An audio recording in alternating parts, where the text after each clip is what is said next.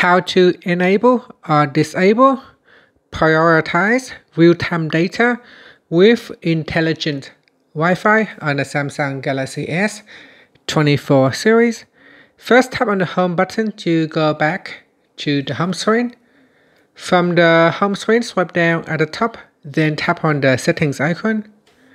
Next, in the settings page, go down and then tap on connections.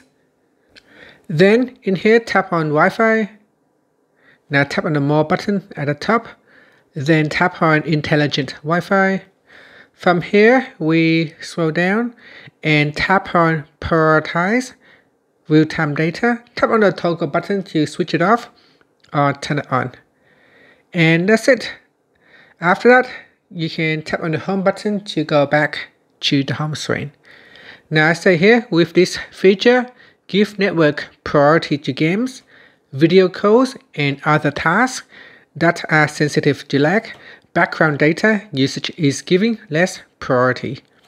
And that's it. Tap on the home button to return back to the home screen. Thank you for watching this video. Please like and subscribe to my channel for more videos.